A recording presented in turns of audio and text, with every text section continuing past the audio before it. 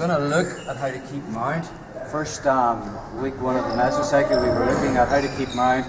And the guy doesn't know jiu-jitsu, he's trying to push you off. So we looked at five or six different things. He's pushing me off the chest, I'm swimming inside. He's pushing me off at, at my hips. I'm, I'm grapevining on him, removing these hooks. He's pushing at my knees, removing these hooks, getting the high mount. Um, he rolls. Right, he rolls the other way. Or he pushes me to the side. Single necktie other way.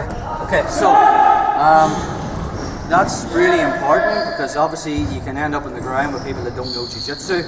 But as you uh, progress through the weeks of this mesocycle, most of the escapes I showed you um, incorporated Carl turning onto the side.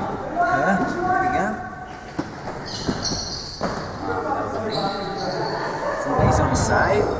Okay, so now um, we looked at, uh, briefly looked at T-mount, the T-mount transition over the last few weeks.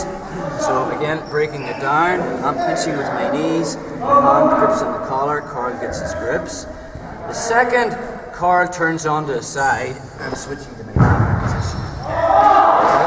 Or he goes for elbow knee, switching to my T-mount position.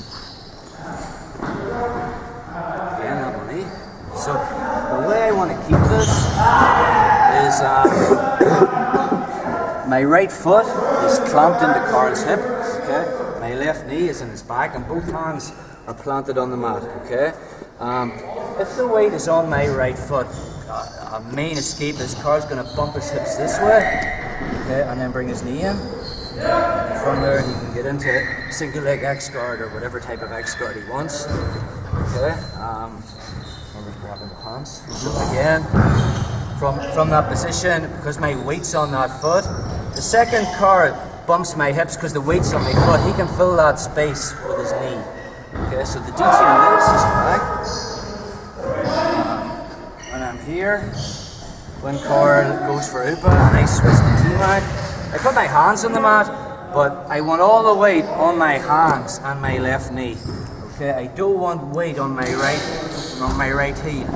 Okay, because when Carl bumps his hips, he fills that space. So from here, as I go back, I want um, I want to be clamping my knee and my foot together. So it's kind of the same analogy of, as of the mount. Remember we talked about the mount? I pinch my knees together. Okay. When I go to T mount, I'm pinching my knee to my heel, but I've no weight on this. Okay? So when Carl bumps his hips, bump your hips. See when he bumps the hips, I just I just fill the space. Whereas if my weight is on my foot and he bumps his hips, my foot stays on the mat. He, he moves his hips backwards. It's in the position. Okay. So again, one more time. I put all the weight on my hands and my knee. So when he bumps his hips, I just go with him. Okay? That foot just stays like a sensor in his hip. Okay. Um, back again. Way of drilling this um, is close your eyes. Okay, because um, in jiu-jitsu we use our eyes so much for uh, learning techniques, but um, once you close your eyes, you're using your other senses um, to judge whether he's turning on to his side. So from here, um, if I close my eyes and Carl goes for Upa, I can sense when he's turned, okay? And then just go back again. Knee. Sorry.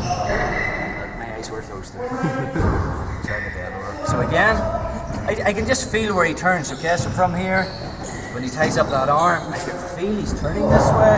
Yeah, Back again. Knee, either, either side. Doesn't really matter what side he goes. Okay, I can just sense when he turns, okay? And the same thing applies, I can add that into the drill.